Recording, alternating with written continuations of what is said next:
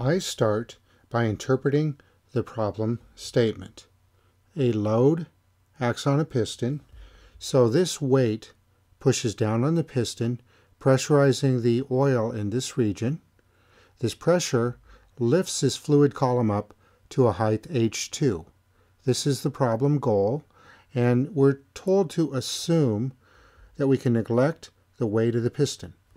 To define the situation, I sketch my situation diagram and I state my assumptions. I write my goal like this. This means I'm trying to find the variable h2 as a function of weight and other significant variables. I ask the question, what equation has my goal in it?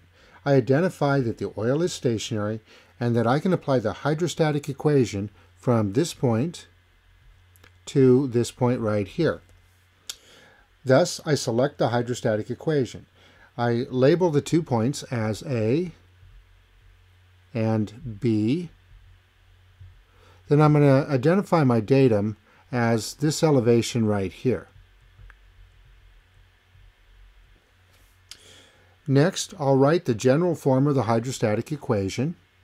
So the pressure at A divided by the specific weight plus the elevation at A equals the pressure at B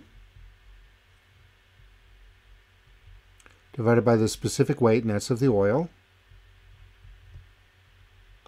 It's of the oil plus the elevation at B. The elevation at B with respect to my datum,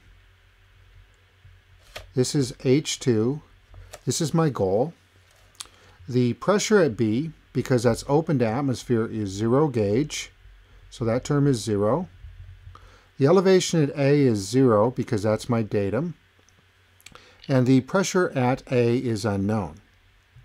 So H2 is my goal, the pressure at A is unknown, and gamma oil is known because I can write that gamma oil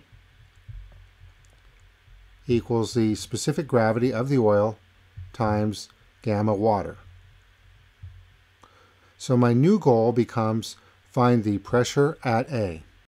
Now the pressure at A equals the pressure right here because they're at the same elevation. The pressure force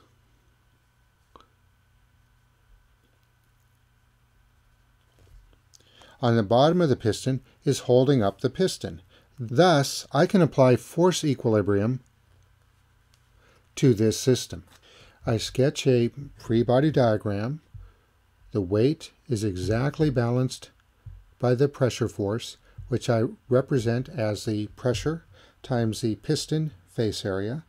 Thus, equilibrium gives me the following. I write my equilibrium equation here.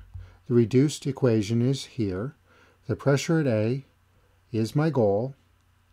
Weight and the piston diameter are both parameters. To summarize, I have two equations and two unknown variables. My plan is to solve this equation for the pressure at A and then substitute it back in here and solve for my problem goal, which is the column rise H2. Okay, I did my algebra and here is the solution. Next, I check my solution for dimensional homogeneity.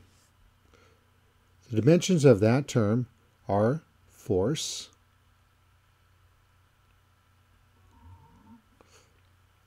The dimensions of this term are length squared,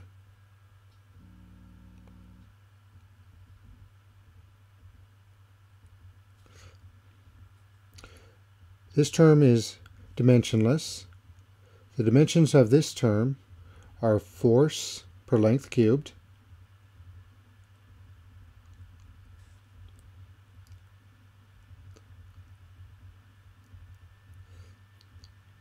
should be a cubed. So this term cancels out the cube. This term cancels, this term cancels. And I'm left with dimensions of length, which are the dimensions of the column height. So I don't know that my answer is correct, but I am sure it has the proper dimensions. Couple tips. When you use the hydrostatic equation, be sure and label your datum